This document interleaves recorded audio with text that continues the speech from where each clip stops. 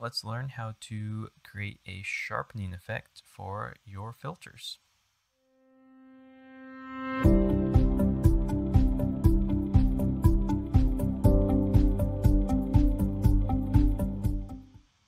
So if you ever look up how to sharpen an image, you'll probably come across an image kernel.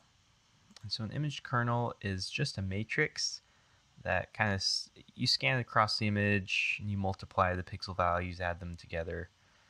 Um, so you can do things like edge detection with it. Um, sharpening is pretty easy to do. You just put in a few numbers, multiply it with the image, and you get a sharpened image. Unfortunately, you can't just do that in Lens Studio.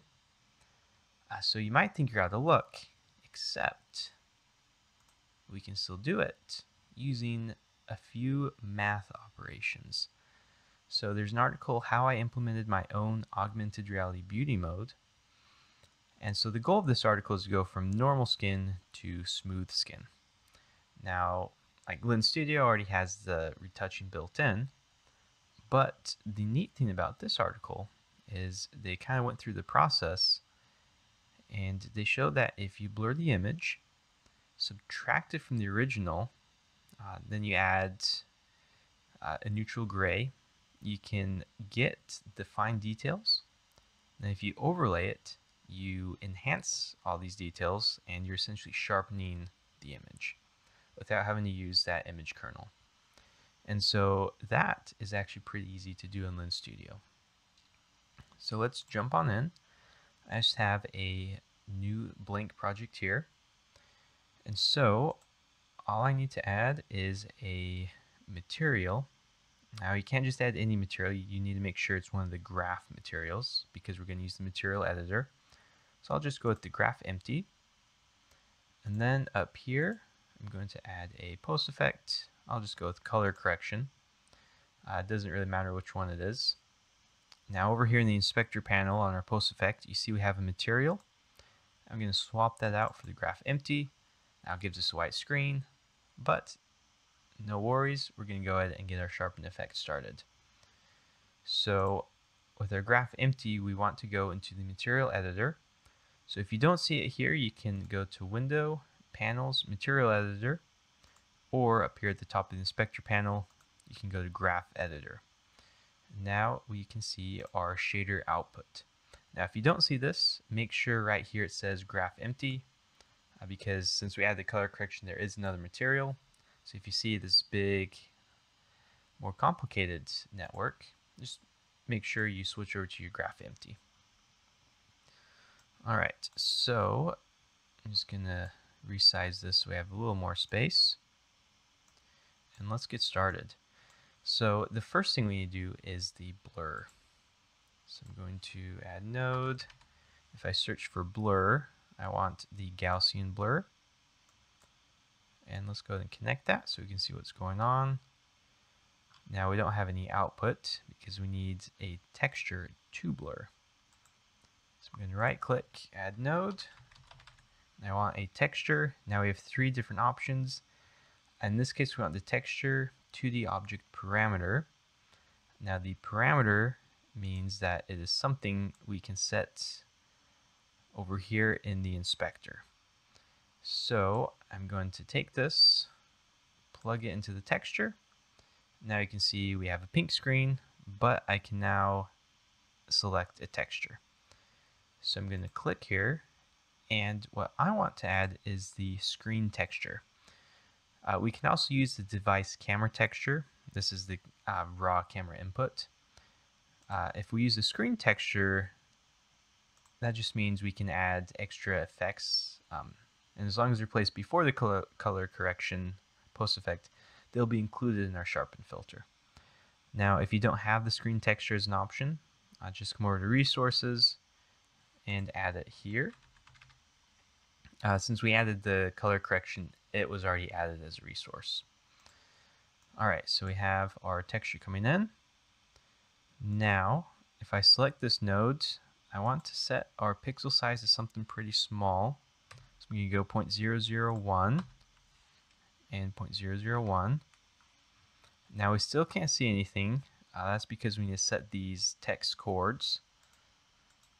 So I'm going to right click, add node, and I want to add the surface UV coord 0.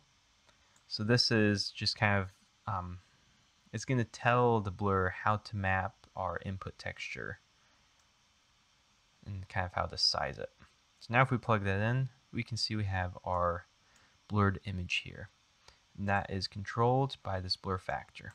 So 0 is no blur, go up to like 10, uh, you get lots of blur, but you can see it's kind of starting to split out. Um, essentially, how this works is it kind of creates duplicates of the image and overlays them to make it blurry. Uh, so you can't go too big with your blur factor. So if you go like with 4, you can see it's pretty blurry, but you kind of get this fringing.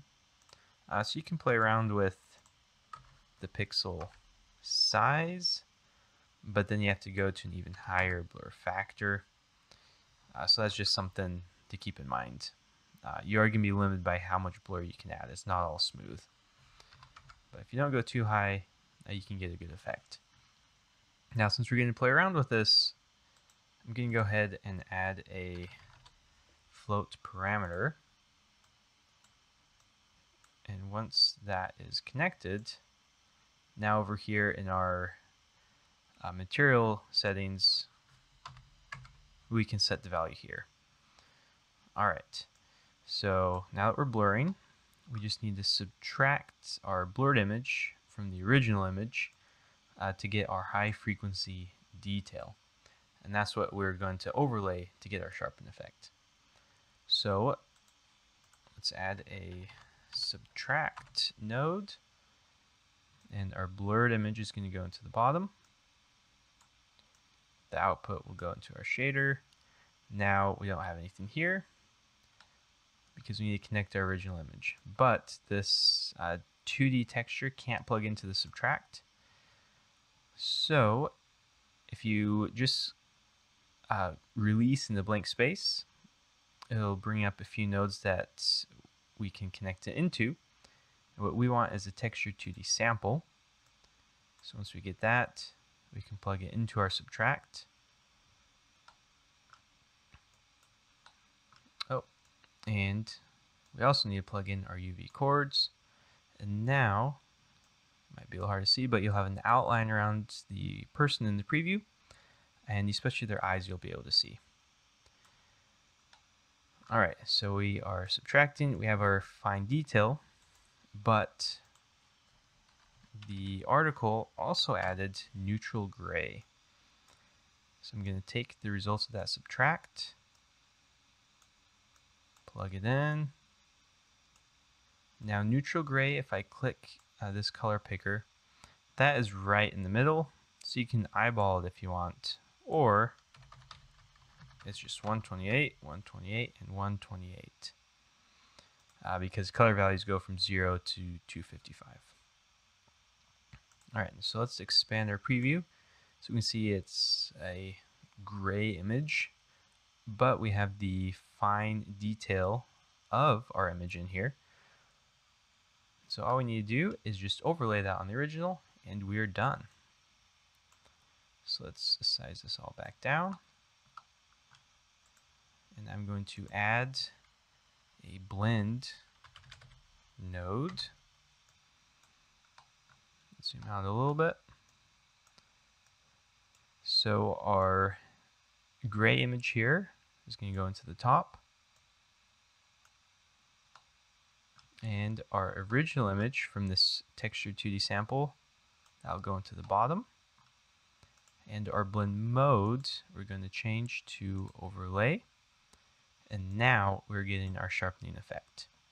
So if I change this value to zero, we have no sharpening. If I put it up to like 3, now we're getting really faint sharpening. As we slowly increase the number, you can see we get more and more sharpening. Once we go too high, we're going to get some weird colors. We're going to get lots of weird artifacts and banding and lines. So if you get that, just kind of scale it back. So if we toggle between 0, no sharpening, and 6, uh, you can see that we are sharpening our image. And that is all we need to do. So we can apply this material to a screen image or to our post effect and just make sure we have our device camera texture or screen texture and all the sharpening will be taken care of by our uh, material nodes here. So it's nothing too complicated. Uh, we're blurring it, subtracting it from the original, adding gray, overlaying it, and now uh, putting the shader.